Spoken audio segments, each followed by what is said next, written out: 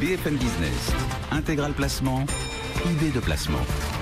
On va parler de toute autre chose en évoquant un sujet lui aussi d'actualité. Ce sont les successions internationales. Il faut dire que le showbiz nous gratifie de pas mal euh, de matières en l'état. Euh, Benoît Lombard, bonjour. Bonjour Cédric. Alors, on va pas s'intéresser euh, au cas précis de Johnny Hallyday. On va essayer de regarder d'abord ce qu'on appelle une succession internationale. De quoi parle-t-on quand on dit succession internationale? Il faut déjà comprendre que ça s'inscrit dans le cadre d'un double cadre si je puis dire. D'abord, un, une forte mobilité internationale. Aujourd'hui, les gens bougent, les citoyens ne sont plus seulement des citoyens français, sont des citoyens du monde. Ça, c'est le premier point. Puis, deuxième point aussi, c'est des investissements qui peuvent se faire en dehors de nos frontières. Ces deux points-là font que, bien évidemment, si on inclut en outre euh, le fait qu'il y ait des familles recomposées, des familles, j'allais dire, à géométrie mouvante, eh bien, on peut se retrouver avec ces éléments d'extranéité qui font que la succession ne se règle pas uniquement dans le cadre stricto sensu du droit français. Alors, en France, ça se passe bah, En France, c'est très simple. Donc, euh, on a la fameuse réserve héréditaire. La réserve héréditaire, c'est codifié à l'article 912 du Code civil. Elle appartient aux enfants, hein, puisqu'elle est de trois quarts la réserve lorsqu'il y a plus de trois enfants, de moitié lorsqu'il n'y en a qu'un seul et de euh, deux tiers lorsqu'il y a deux enfants. Mais elle appartient aussi, en l'absence de descendants, aux conjoints survivants qui bénéficient depuis 2007 d'une réserve de 75% et cette réserve héréditaire, en fait, est un mélange qu'on retrouve euh, issu du Code de Napoléon entre le droit antérieur, qu'on avait le droit coutumier, qui avait inscrit cette réserve, et puis aussi ce qu'on appelait la légitime dans les pays de droit écrit. Et donc, on a laissé une liberté de tester, hein, puisqu'on a vu que la réserve, au maximum, elle est de 75%, ce qui fait que le défunt peut disposer seulement de 25% dans le pire des cas. Donc on a fait un mix, un mix des deux. Et cette euh, réserve héréditaire, elle n'est pas reconnue en droit anglo-saxon? Elle n'est pas reconnue en droit anglo-saxon. Euh, tous les pays de droit latin, hein, l'Espagne, euh, l'Italie, mais aussi Luxembourg, la Belgique, connaissent la réserve héréditaire.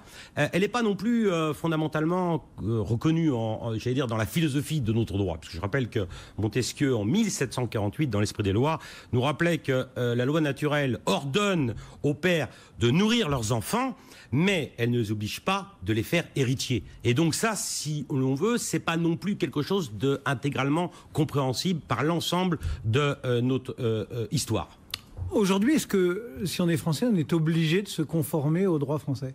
Si on est français, on n'est pas obligé de se conformer au droit français, car on peut, depuis, et là on se tient uniquement au plan civil de la succession, depuis un règlement européen de 2015, on peut choisir euh, la loi qui va régir sa succession dès l'instant où il y a des éléments d'extranéité, euh, en considérant que la loi qui s'appliquera, ce sera celle de la résidence habituelle euh, du défunt. Mais il faut que ce soit cette résidence habituelle. Il y a une exception, c'est que lorsqu'il y a des liens qui sont manifestement plus étroits avec un autre État que celui au sein duquel vivait le défunt, enfin l'ex, la personne décédée, eh bien, on avait la faculté de pouvoir choisir la loi de cet État-là. Et il y a une exception à ces principes qui est quand même importante, c'est que euh, ce qu'on appelle la profession juriste, on peut décider de choisir la loi du pays dont on a la nationalité. Ça veut dire qu'un Français qui réside par exemple aux États-Unis peut choisir non pas la loi euh, des États-Unis pour sa succession, il peut choisir la loi française s'il est de nationalité française.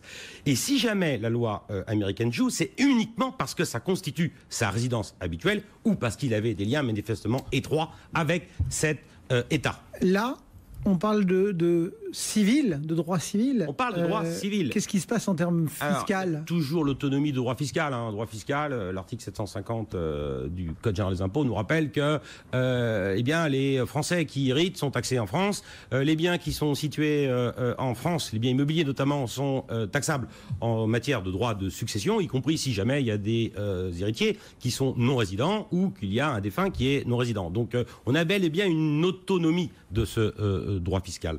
Cette autonomie euh, peut être contredite par des conventions fiscales. Vous savez, les fameuses conventions bilatérales qui existent. Mais il n'y a que 34 conventions bilatérales entre la France et les autres États du monde, tant en matière de droit de succession, tandis qu'en matière d'impôt sur le revenu, il y en a 127. Donc euh, il peut y avoir des conflits de loi et des doubles impositions dans certains cas de figure. Est-ce qu'on peut illustrer un peu ces, propos? Il nous reste deux minutes en prenant des cas euh, peut-être un, peu particuliers. Un, cas, euh, un, cas concret. Euh, le cas de l'affaire Jarre, de Maurice Jarre, le père de Jean-Michel, qui est décédé aux États-Unis. Et les héritiers n'étaient pas contents, puisqu'ils étaient bien sûr déshérités, si je puis dire, puisqu'il n'y avait pas de testament en leur faveur.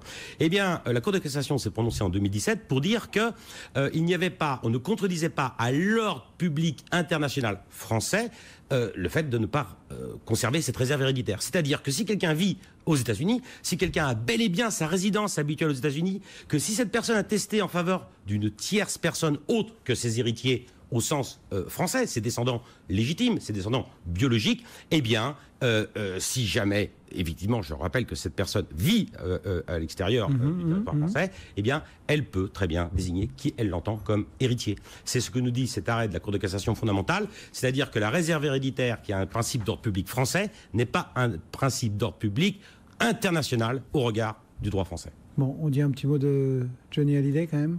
Hallyday, la difficulté repose sur cette notion de résidence habituelle. C'est là, à mon sens, qu'il euh, va falloir se concentrer.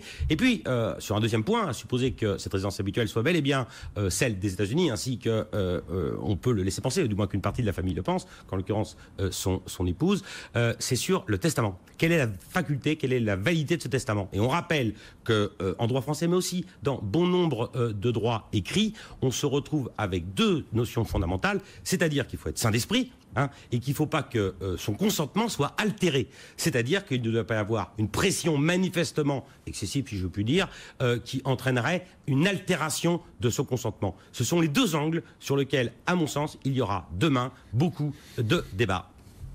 Eh bien voilà, vous en savez plus sur ces euh, règles, sur ce côté international du euh, testament et de la succession. Merci beaucoup d'avoir euh, bûché sur ce thème. Benoît Lombard, donc pour Vitam MFO. À très bientôt, Benoît, sur d'autres thèmes patrimoniaux qu'on évoque régulièrement ensemble.